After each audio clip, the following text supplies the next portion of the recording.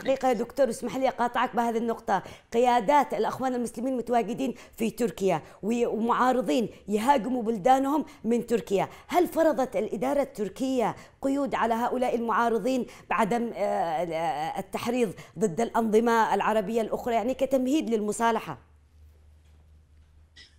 طبعا للتمهيد آه، يعني دعني أقول يعني بكل صداقة أستطيع أن أقول لكم يعني تركيا كانت دولة تحتوي وتحتضن طبعا كل اللاجئين.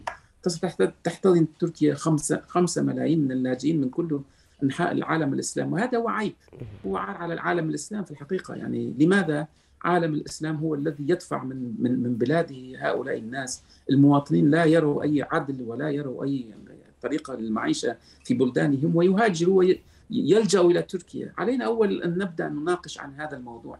وأنا أنا كشخص مثقف ليس كشخص مسؤول عن تركيا في في الدولة التركيه أنا أقول وأدعو كل الدول الإسلام أن أن أن يتفكروا ويلح ويتفكر ويركزوا عن هذه النقطة عشان آه، يصلح يصلحوا أنفسهم يعني. يصلحوا أنفسهم. الدول لابد تشوف لو في تركيا خمس ملايين من دول من العرب كلهم طبعا معارضين لبلادهم ولكن اللاجئ يأتي مع مش مع شرعية بلاده أيضا يعني. يأتي بطريقة في ظلم هناك والظلم يدفعه إلى إلى اللجوء يعني. الظلم لكن من هناك سوريا احترام متبادل ما بين الأنظمة والإدارات، هل يجوز للاجئين يعني أن يسيئوا إلى إلى انظمه بلادهم ويستخدموا تركيا يعني لهذه الإساءة؟ في في تركيا كثير من من, من تركيا المعارضين الذي يسيء بلادهم لا يسيء بلادهم يسيء السلطة. آه، إساءة إساءة السلطة لا تعني إساءة البلدة. لابد أن نفرق بين هذا هاتين الطرفين. يعني أنتم لا تقول يعني عندما عندما شخص ينتقد أردوغان أنا لا أقول له أنت تسيء بلدتك. لا هو ومن حقه أن يعارض أردوغان.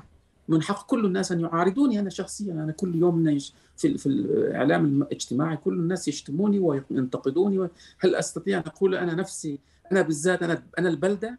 كما أردوغان عندما يصلح عندما يختار بعض السياسات في من لا لا يسعده هؤلاء السياسات. ويتلقى بعض المعارضة.